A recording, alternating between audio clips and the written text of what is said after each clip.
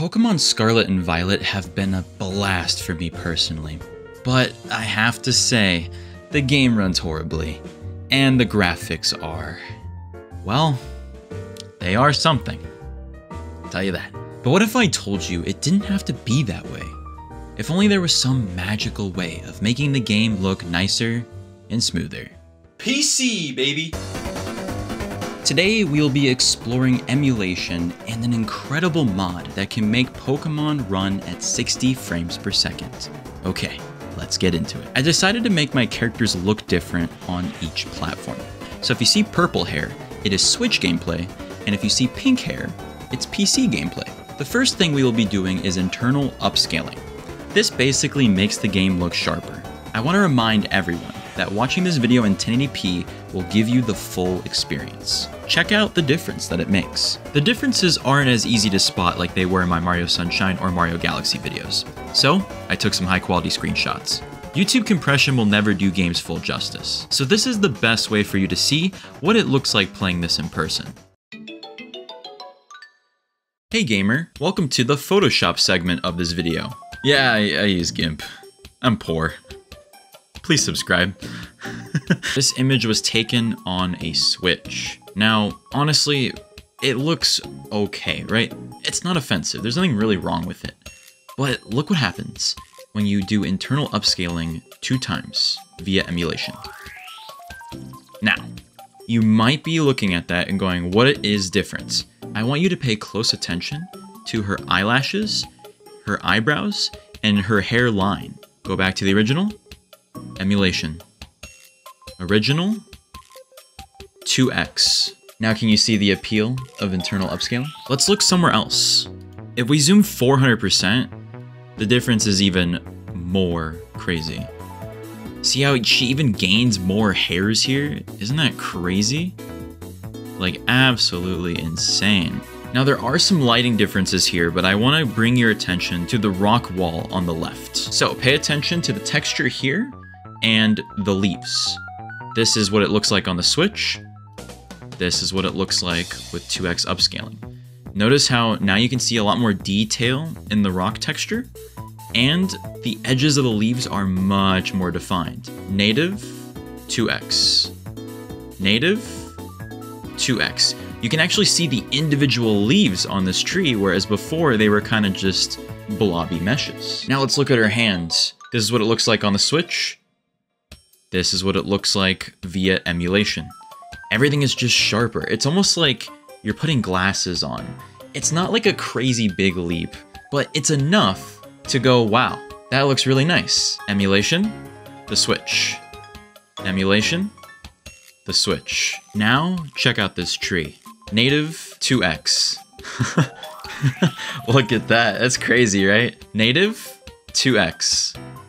Wow. If we're gonna get crazy with the pixels, this is what it looks like on the Switch.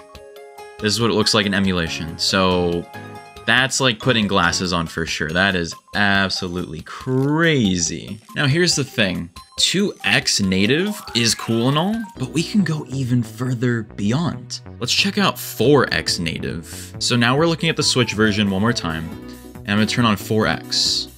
So something you'll notice with 4x, it is really sharp. However, it's not that big of a leap from 2x. So let's compare it to 2x now. This is 2x, this is 4x. Now, I think we're gonna have to zoom in a lot further to really see the differences here. 2x, 4x. At this point, it's practically indistinguishable. Now, why is that? Well, there's a point of diminishing returns. Because I only have a 1080p monitor, there's only so much raising the resolution will actually make a difference. We'll come back to internal upscaling. Now, it's time for 60 FPS.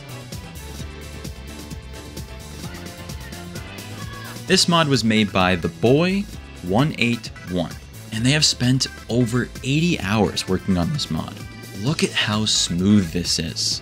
It is so refreshing, especially after playing on the Switch for so long. Now, it's amazing, but it's nowhere near perfect. One of the few times where I can get just a non-stop 60 FPS with no questions asked is when I'm in front of the ocean, and I think it's just because there's not really anything to render and the mod can just smoothly run at 60 FPS and it's nice. It's still not perfectly stable. What does running a mod like this cost? Not money cost. I'm talking hardware. What kind of PC do you need to be able to run this? Well, apparently a NASA computer, because my $4,000 PC is struggling in many places. Now, to be fair, my PC is kinda old. I don't want to say that too loud, he's bit self-conscious. But I typically never have performance issues in any games that I play, so it's worth mentioning that you need a very good rig that's pretty modern. Thanks to the power of friendship, my buddy decided to check out the mod with his fancy modern machine. His experience was much smoother than mine, and you're looking at his gameplay right now. I'll put my PC specs and my friends on the screen so you can get a general idea of what to expect from your own PC. Keep in mind the mod is being updated and so are the Switch emulators, so this can only improve with time. Let's compare some cutscenes since those are nice to use as references.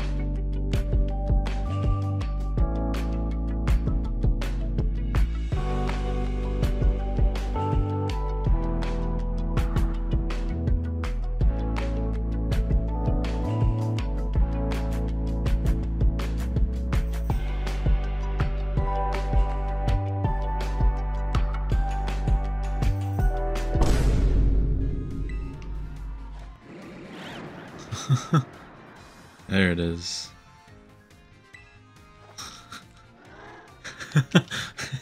hey, I mean, they both got glitches, you know what I mean? But listen, let's go back to internal upscaling since there are more things that I want to show you. Now let's look at Lechonk. Now something I thought you guys might find interesting is the difference between handheld mode and docked mode. Right now we're looking at handheld. So we're gonna go ahead and dock the Switch really quick and boom. As you can see, the Switch on its own already does a little bit of internal upscaling. This is handheld, and now we docked it. As you can see, even the UI gets a little sharper. All right, this is gonna be a fun one. Landscapes. Landscapes have things really far in the distance, which internal upscaling is amazing for. This is what the game looks like on handheld. Now, let's dock the Switch. Ooh, that was quite a decent leap. Docked, handheld. The biggest difference I'm noticing is the trees that are closer to the camera. They become much more defined with the leaves, and a few things in the background become a tad sharper. Look at the buildings in the town in the background, specifically the one to the left of the entrance. However, I will say that the background doesn't change at all. Specifically that horrific giant Pokeball in the background. It just and the spires, it just looks so bad, and docking it doesn't change a thing. Well, let's go even further, to 2x. Hmm, still unchanged. Alright, now it's time to go to 4x. Hmm. Okay, so what's happening here? Why is the background still horrible? Well, it's because of LOD. What is LOD? Level of detail. So when you make a video game and you're creating the 3D models for that game, sometimes you make lower detailed versions of the models so that when they're further away from the camera, they use less resources on the game, and it looks eh, just as good because it's so far away you barely notice it. The unfortunate reality, since this is LOD, is that there is no way to fix this with internal upscaling. Now hold the phone there. As I was recording this video, the boy 181, the GOAT, decided he wanted to make an LOD mod. So using these screenshots here, you can see the trees in the distance are still insanely high detailed and they're not the flat ugly trees we're looking at in my screenshots. Wow, just look at this. This looks absolutely phenomenal. So, with modding, as always, there's hope. Enough landscapes. Let's take a look at something that's more noticeable in gameplay. Your character. I want you to pay attention to my face and the edges of my hat. And let's go ahead and 2x it. As you can see, my hat is a lot more smoother on the edges and my clothes are a lot sharper. So go ahead and pay close attention to my backpack strap. 2x, docked. 2x, docked. Look at the Pokemon Center lady's hair and her eyebrows. They go from pixels to actually defined features. Take a look at that brick wall in the background. It goes from, yeah, you can tell that's a brick wall, to, oh, that's definitely a brick wall. And since we have an actual full detailed building right here in the background, we can also take a look at that. The roof just looks so much nicer. The fence, it goes from staircased to just smooth. This Pokemon wireless symbol goes from a little bit of staircasing Smooth, baby. Okay, we have another shot of Nemona here. And this time, we're in the main city. So once again, we kind of know where to look. The hair, the eyelashes, the eyebrows. We'll go ahead and dock it. Yup, a lot sharper as expected. Another thing I'm noticing is the plants right here seem to get a little more defined. And the wall in the background, check that out. Oh my goodness, look at the windows on this yellow building. Notice how you actually gain a whole new dimension of detail Wait a minute. This is handheld? And this is docked. You lose one of the defining lines on the windows, but then gain one on... Wait, why is it like that? Oh, that's kind of funny, actually. All right, let's go to 2x. Boom. Way, way sharper, as expected. The little stones on this wall here are as sharp as ever. Let's go all the way back to handheld. It's literally an incredible generational leap. But hey, notice how we finally get the full detail in these windows here in the background. they don't have to alternate anymore. We finally have enough pixels to show all the detail back there. The little flowers here and this design on the wall, of this mosaic design, is clearly defined. And the tiles on this roof. You can actually tell that they have defining lines. Alright, time for my favorite part of Pokemon Scarlet and Violet, the infamous door. I don't know why this door looks so bad in the game, but I just crack up every time I see it. And we're gonna upscale it. So this is what it looks like on handheld. Let's go ahead and go up to 2x, a whole leap. We're skipping docked. 2x.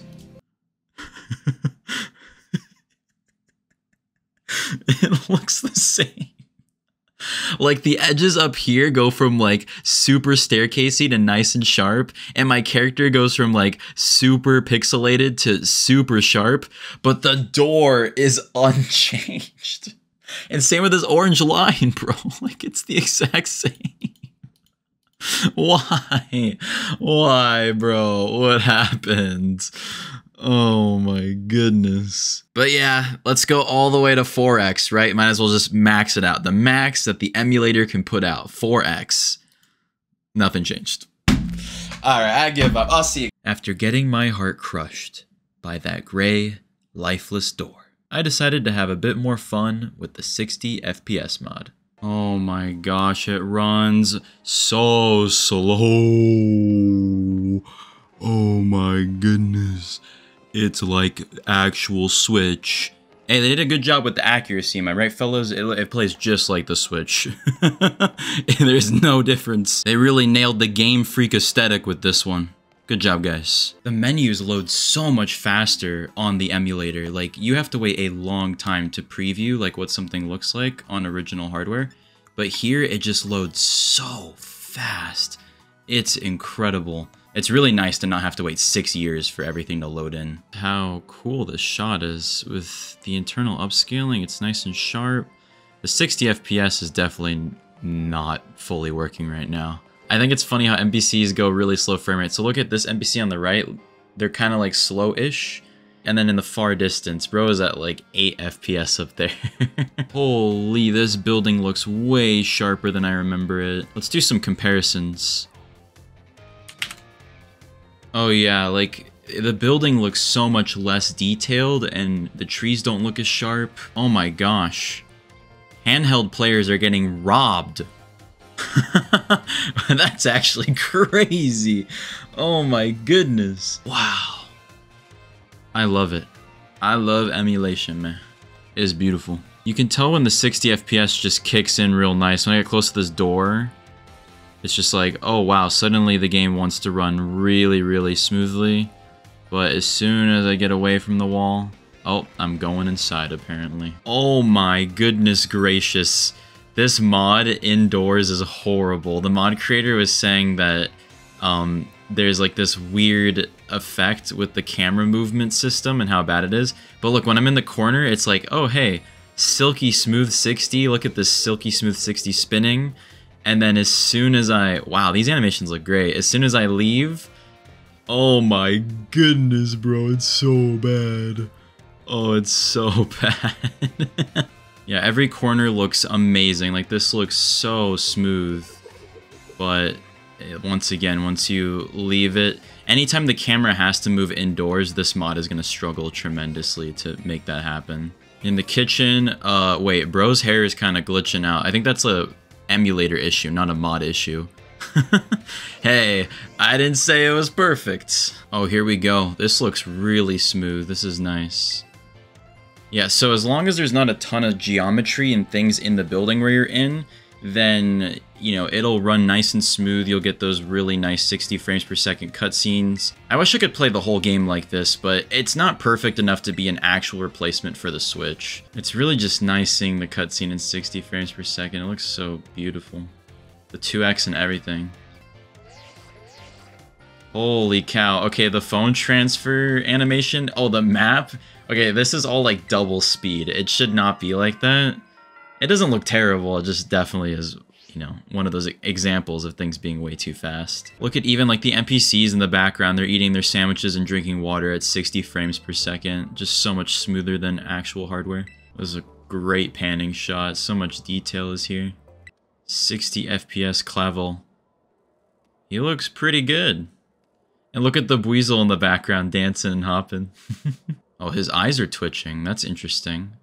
Wonder what the cause of that is. Alright, do I get a good frame rate in here? Oh, of course not. oh, yo, we get to see this woman with her crazy hair in 60 FPS. Wow. What an upgrade. So sharp, her hair is nice and sleek. Eyelashes looking great. Oh, okay. Uh, that definitely was not intentional.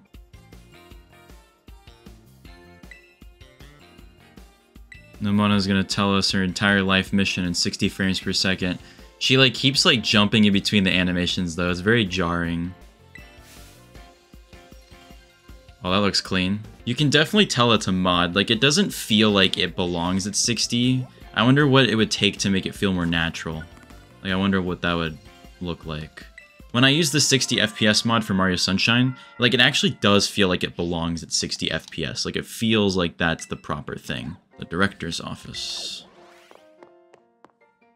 Load times are much faster on PC as well. Like, I do not recall having to wait nearly as long.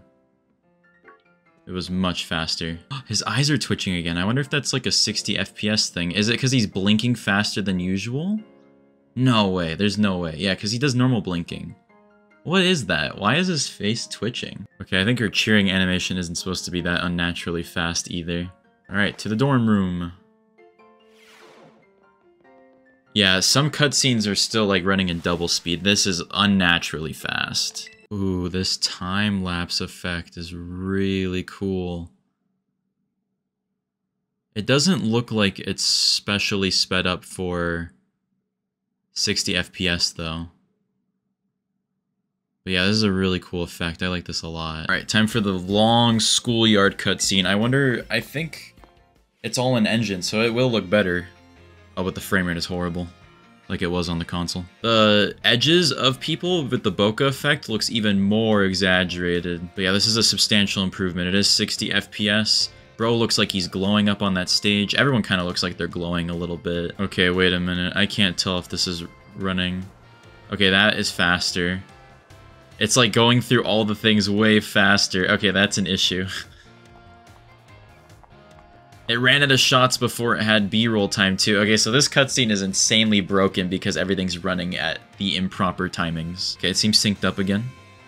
Oh, that's the most HD shot we're gonna get all day, that close-up of me. And then suddenly it's like 5 FPS. I have no idea what happened. Yeah, it's like desynced. The audio already happened where they cheered. So weird. Maybe it's just too many characters on screen at the same time. Alright, we are out and about. And frame rate is still could be better, but could be worse. It's not the worst thing in the world. This battle should be nice and smooth. Yeah, the Pokemon battles always run a lot smoother, I think because it like de-renders a lot of the grass in the background. But it just depends on the camera angle and a ton of stuff like that. Alright, we catch these. Oh, what the? Holy, what animation. Hey, this looks pretty good though. Yeah, it looks really nice and smooth. Not too bad. Let's see the Pokedex animation. I think I've only seen it a few times. Oh, it's like instant. Like, it's kind of a nice thing, especially if you're catching Pokemon really frequently, but like, you couldn't even see it. It just was like, boom, done. That's actually kind of hilarious. We gotta catch the Starly, 1000%.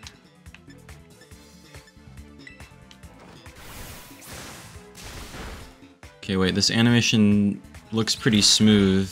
Yeah, this is really nice. The way like the battle works, and when you pan the camera, you can really get a full feel of that 60. Is it smooth all the way around? No, it gets a little choppy when you look that way. But right here's like a nice sweet spot. It looks really good and smooth. Not bad. Smoother than Switch gameplay, but still not silky uh, 60 FPS, which would be super nice. It's like high FPS around this area, and then as soon as we look over here, it like slows down a bit.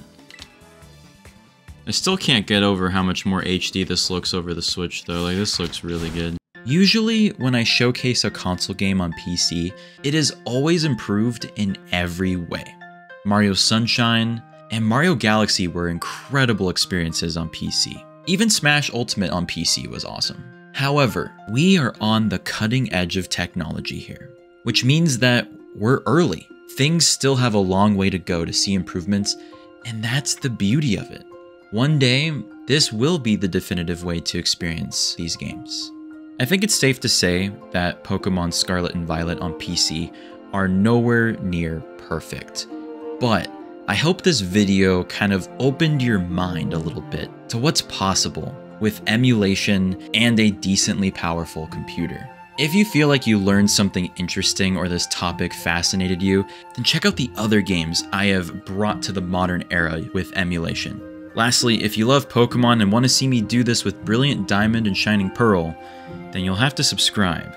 Not only am I going to take that game to the next level, but I'm also going to introduce a unique surprise that not many people know about. So, I'll see you then. Bye bye.